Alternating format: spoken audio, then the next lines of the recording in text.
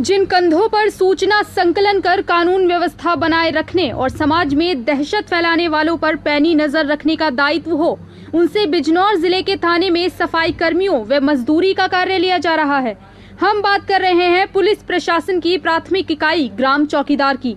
अभी तक की टीम को बिजनौर की थाना शहर कोतवाली में एक नहीं तीन चौकीदार मजदूरी करते मिले, जिनका कार्य सूचना संकलन कर कानून व्यवस्था बनाए रखने और समाज में दहशत फैलाने वालों पर पैनी नज़र रखने का होता है।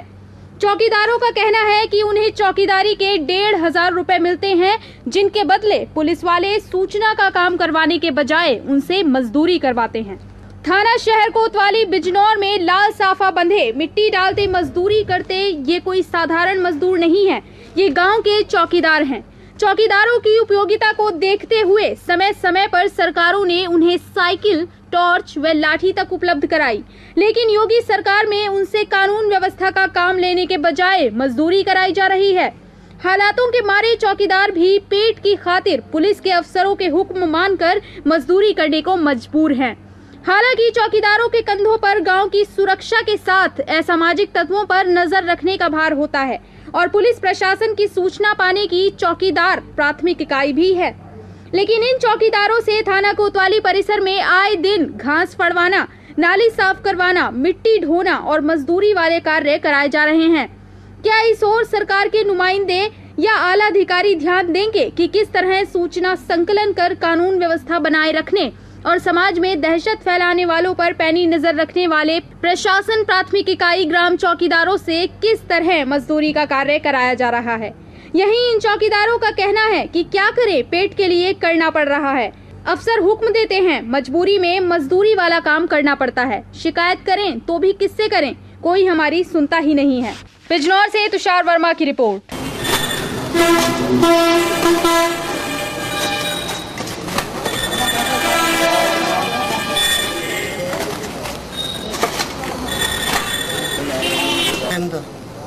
क्या हो तुम यहाँ चौकीदार।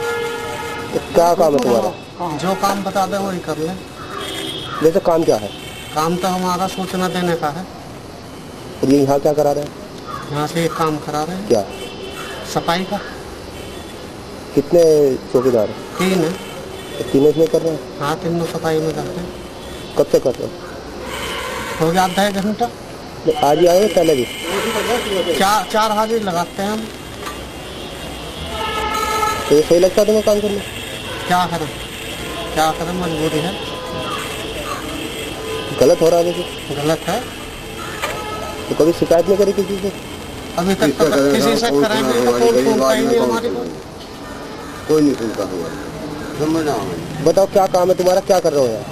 हमसे साहब यही काम करवाओ हमसे जब भी आवा घास खुजवाओ नाली सफ़ा कराओ ये कराओ वो कराओ तो वो देखा साहब वैसे काम क्या है तुम्हारा? हमारा काम तो साहब हमने कहा था सोचना देते थे ये कोई ऐसी बात हो ये बात हमारी थी हमने भी कही थी अभी ये काम साहब यहाँ वहाँ से कहीं करना सुबह से सफ़ाई कर रहे हैं पहले और अब लोग खाने का बाद यहाँ पे काम करने के लिए किसने कहा आपको? ही कहा उनसे काम उनसे है, कहा था। तो इस उम्र में काम कर रहे हो थकन भी हो जाती होगी। हाँ जी तो हम क्या करेंगे? तो कभी शिकायत नहीं करी किसी से? बस साहब किसका करें शिकायत? गरीब आदमी हम कहाँ जाना और धौन देते हैं। क्या करता है पहले कहा भी था एक दो फिर नुकरा जा दो नौकरी कर लोगे तब तो पंद्रह सौ रुपये मिला साहब Disha Institute is one of the leading institute in district Bishnor known for its quality education and discipline. We have been following a proactive approach to education which is based on most effective learning techniques through revolutionary interactive smart classes. All departments have various labs wherein students involve themselves in diverse fields of science, technology and innovation. Disha Institute's library offers an extensive range of resources and services to support teaching and learning. Our auditorium serves as a space of encouraging creativity and fostering communication, a fantastic location of the college. Our flawless transportation has been continuously providing best in class facilities for the students.